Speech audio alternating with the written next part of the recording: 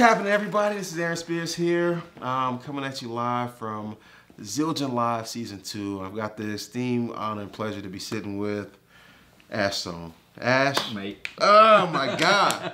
so happy to have you here, man. Thank you, Aaron. I'm Uh, happy to be here. Dude, I, I was um, just so blown away at the, the career you've had. I mean, it, it, it spanned decades, bro. I mean, you you Yeah. recorded with some of everybody, so many different genres, uh, so many different fields. I mean, dude, your your career is is insane. Thank you, mate. I'm still going, hopefully, too. Yeah, no, no, you are. You're not going anywhere because we need you, brother. We need you. Yeah. Um, I want to talk uh, about the first thing, man, that, that strikes me uh, with your plan is your tones. Your drum tones are insane. What the heck? How did you develop this? Is, is this just something that you just sat down at the kid, you know, 20, 30 years ago and just were able to just hash this thing out? Was this something over time that you It's on? over time. Yeah. Yeah. And uh, are you, are you talk, also talking about my, my studio? Yeah, yeah, yeah, yeah. So, um, one of the things, and actually Steve Jordan talks about this, Mm-hmm. why he got into engineering, was because he, he felt that when he sometimes when he did sessions, he'd go go back into the room and listen back to himself, Yeah. and oh, it doesn't sound like I thought it sounded. Yeah. My kit doesn't sound. My the drum kit isn't represented Mm-hmm. like I want it to be. So he kind of, you know, as far as I'm aware, he started to. That was one of the, the factors that made him start to get into engineering Yeah. because he wanted to control the way that he came across. Yeah, for sure. Uh, and I sort of I, I feel that too. Yeah. I mean, um, so over the years, I've watched engineers and what, what they do to Yeah. Mm-hmm. the drums in on sessions and, and microphones, what they put in here. Yeah. And you know, as lots of guys that, that record, yourself included, Mm-hmm. Yeah. you do start seeing the same microphones Yeah. cropping up. Yeah. Oh, it's one of them. Yeah. Okay. And I just sort of, I guess, over the years, took note of all that. Uh, and then the sounds, like all of us, we've got sounds in our heads, haven't we, mm-hmm. that we we wanna that we want to reproduce. Yeah. Uh, and you can do it somewhat mm-hmm. with acoustic drums. You can dampen them, Yeah. and you can, you know, you, you change the heads. Mark Guiliana can put stuff that he's found Yeah, on top of them to, absolutely. to create that sound, and that's He's- really cool. He's such a weirdo, but he's so good. But the next stage for Yeah. me was, well, okay, so what? I like the fact when it, go, it disappears down that little lead, yeah. Mm-hmm. and then goes into the computer, and Yeah. then some something happens to it, Right. And, I, and it really uh, struck me like, what are these guys doing? So Mm-hmm. I, I over the years, I've just slowly been learning how to engineer, Yeah. and the tricks that they're using to make a fat snare drum decay in a certain way Mm-hmm. that sounds that's almost electronic Yeah. um, it's cool, but it's like it's definitely like you know, a lot of guys sometimes think that I'm using samples at my studio. I never do that. I'm just, I'm just, you know, playing Just with tones. the sound. Yeah, yeah. And get the you know so get the core sound of Yeah. the drum, get it all as close as you can to Mm-hmm. what the sound is in your head, and then you can start, you know, Dude, messing you, around. dude, you could teach a class just on that. I mean, just just on your to- your tones alone, bro. I mean, if you decided to kind of share some of that information, people will be lined up. I mean, you you've done a really good job, I think, of kind of putting out there social media just like a taste of what it is that you do, which is which is fantastic. But I, I think that if you um, made an offering to be able to kind of share a little bit more, Yeah. dude, people would be all over. Well, yeah, there are people on my case to do this. Yeah. Um, but you know what's interesting is, you know, no one's really shown me how to do it. So Mm-hmm. at, at first, when real engineers or real producers came to my studio, Mm-hmm. in fact, I remember the first time it happened. Um, I was, I was like, oh no, they're going to see what I'm doing. Yeah. They're going to get on my computer and they're going to see my process. Yeah. And they're going to just be like, what are you doing that for?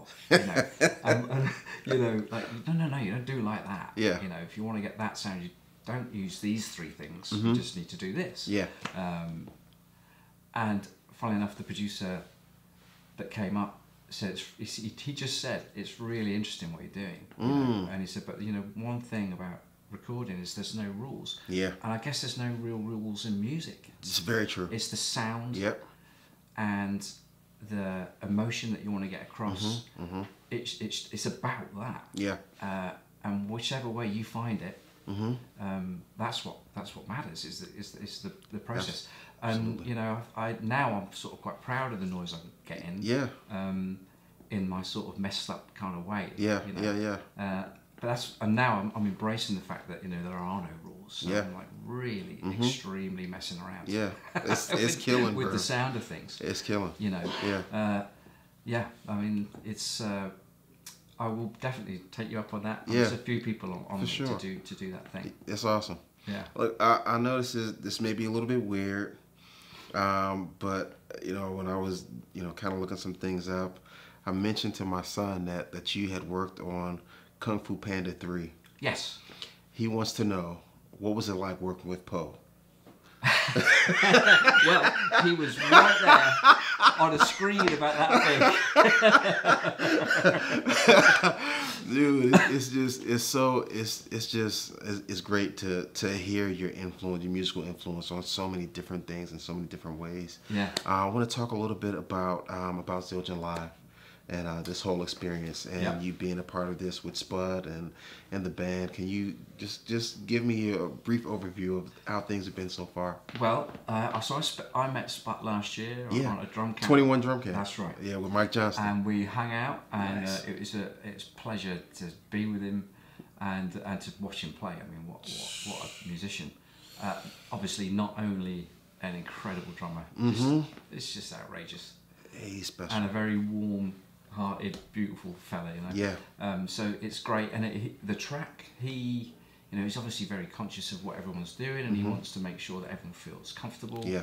um, especially people like me, where I, you know, it's very it's quite specific Mm-hmm. what I do, I, and I haven't really got the facility to to to show any, you know. So he was very aware that you know I'm going to keep it. You do, but in a in a very ash, very tasteful way. Yeah, really. Well, that's he's made sure that I can that I feel comfortable. Yeah. That's really Yeah, good. yeah, yeah. And the band, I mean, man, what a band! I felt for him, you know, at rehearsals. There's a lot of material. So much. so much material, and he's he's pretty tough with them. Yeah, he is.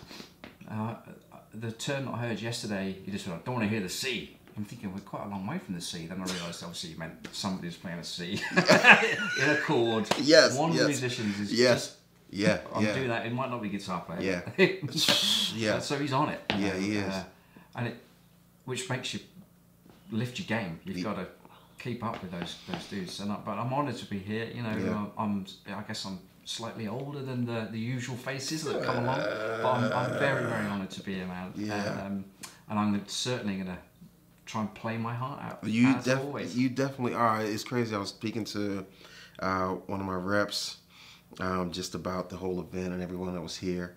And uh, when your name came up as being one of the players, he was just saying how you have this ability to translate the joy which you're feeling and you're playing to other people. It just makes people feel better. Great. You that's, know? that's lovely to hear that. That's what I hope. Yeah, you know? Chris Hart was the one that he said that. Oh, Chris. yeah, yeah, yeah. The biggest heart in the business. Yeah, he is. He's the heart of the business. Uh, but he mentioned that, man. I have to say, it's it's definitely true. You know, just watching you you play, it's, it's contagious, man. It feels it. You make the stuff feel good. So we're honored and, and happy to have you here today, and, and looking forward to hearing you play. And I hope that the people check it out and love it as much as we do. Thank you, Aaron. Yeah, for sure. Thank you. Ash, appreciate Mate. your time today, man. Thank you for being here. Thank you so much. Zildjian Live Season 2 coming at you really soon. Thank you guys for watching.